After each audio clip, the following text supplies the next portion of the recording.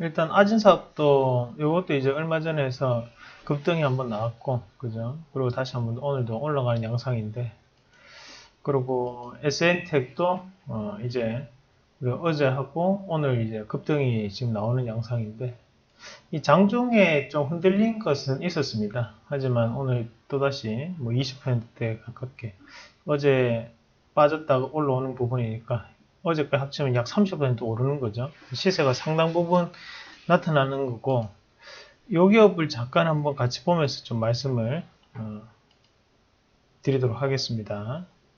우리가 요거 이제 조금 살펴봐야 되는 것이 일단 이 SN텍이라는 기업이 사실 이제 LG 디스플레이, LG 디스플레이의 어, 납품업체예요.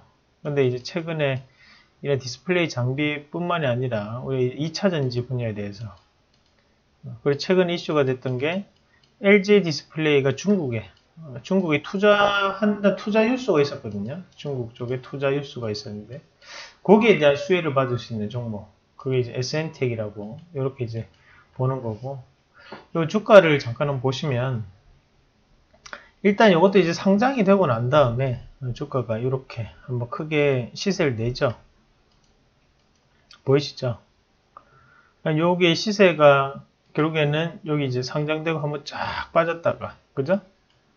여기 요 자리부터 4,800원부터 시작해서 13,600원까지 가면 약 3배 정도 오르고 3배. 우리가 여기에 요 부분만을 보면 어때요? 요 부분만.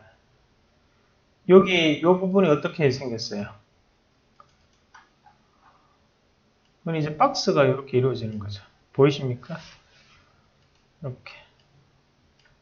이렇게, 이렇게, 이렇게, 이렇게, 이렇게, 이렇게, 이렇게.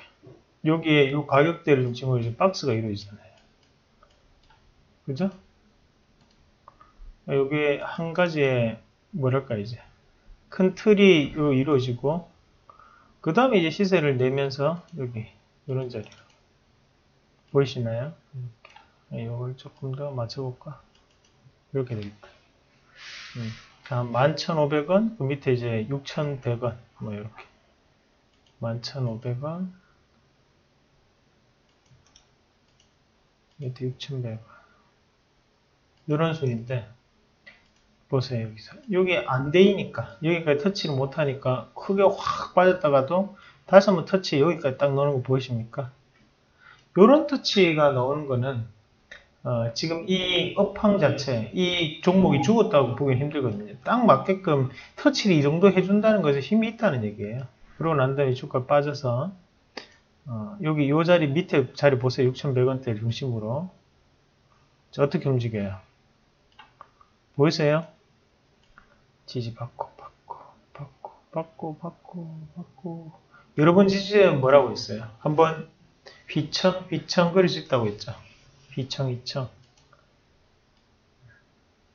이해가 되세요? 지지, 지지, 지지, 지지, 지지, 지지, 지지, 지지. 후. 그럼 여기 요건 뭐겠어요? 요번은, 요, 요번은 어떻게 쓰게 됩니까? 어, 1번 차익 매물. 어. 2번 매지. 뭐겠어요? 이번에 차익 매물로 가야 되죠. 어, 왜냐 윗꼬리가 달리면서 끊어 먹고 난 다음에 그 다음 뽕을 보면 어떻게 됩니까? 밑으로 내려와 버리잖아요. 밑으로 내려오는데 중요한 이 자리 자체에서 내려오면 원래는 어떻게 돼야 돼요? 투매가 이루어지면서 거래량이 붙어줘야 되죠. 어 여기 지지가 안 되네 하고 이탈될 거 아니에요. 이탈될 때 그러면 이탈되는 부분에 대해서 거래가 나온단 말이에요. 근데 그 거래가 지금 나옵니까 안 나옵니까? 안 나오죠. 안 나옵니다. 그 말은 앞에 요봉은 뭐였다? 아 얘네들이 한번 쫙 마지막 한번 올렸다가 설거지하고 지금 나오는 자리였다. 단기적으로. 그럼 지금 여기 이 6,100원대 중심으로 또 어떻게 움직여요? 빠져서 쳐주고 쳐주고 쳐주고 못 들었다. 다시 뺐다가 또 6,100원대를 도전을 하겠죠. 이런 식으로. 보이세요? 보이세요? 빵, 빠방, 빵. 이렇게. 또 다시 한 번 더, 여기, 이런 식으로 또 움직이겠죠.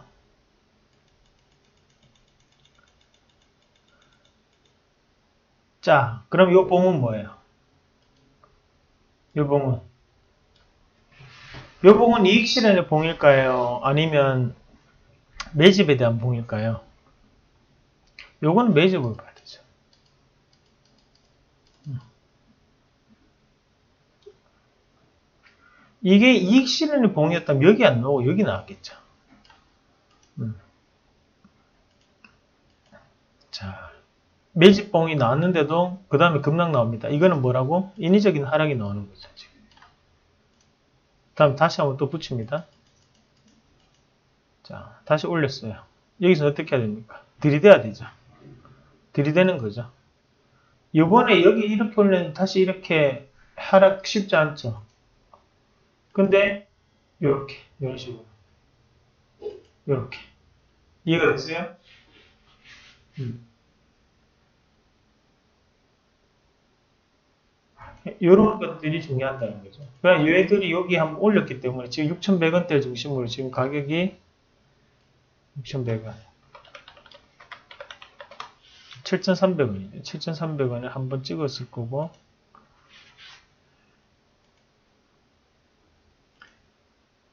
(7,300원을) 한번 찍었죠 앞에 앞에 봉에서 이미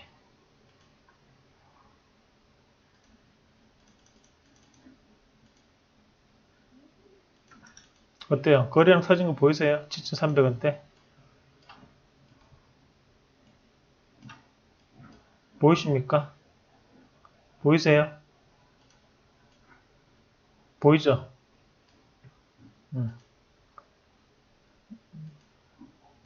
그리고 지금 이제 올렸기 때문에 지금 6,100원대 그 다음 자리 어디입니까? 여기 이 자리 한번 터치를 하고 8,000원까지 한번 뽑아낸다는 얘기죠.